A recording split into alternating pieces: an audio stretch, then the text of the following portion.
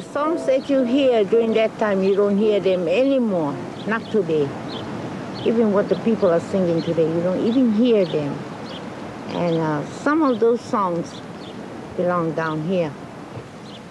Whether they just made it up that time or what, I don't know. But they were beautiful. The composer of certain songs all come from down here. And they move out all these areas. Whether they came from this area, Ho'opuloa or Opihihale, either one of them. But actually, the family line is right down here. February the 5th, 1885, uh, they had a tidal wave. But this tidal wave came, it was a dark, dark night. During the night. During the night. And uh, Miloli'i used to have plenty people live, they build house, you know, with rock around fence. So, happy, a tidal wave came up in a night. But people, uh, family that has plenty children, they only can take maybe about two kids. See? They grab whatever they can grab. And no light, no nothing. They gotta crawl, holding this baby here, holding this baby, and crawl, and the wave come. So that was the story.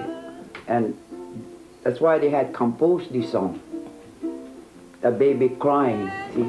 Ine pepe alalane. That's the meaning of the child's. Crying, calling for the mother.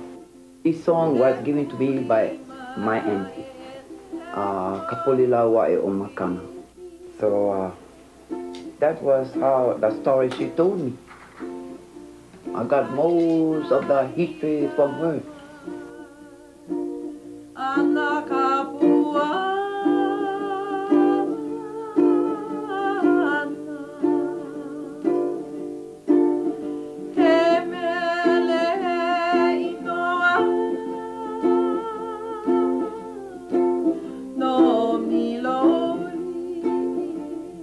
It's my deep feeling that Diane is one of the last links with that older generation.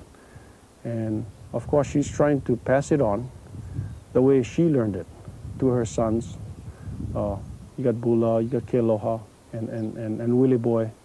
And uh, we're very fortunate to have Diane, you know, with us and still uh, being that link with the older generation. Well,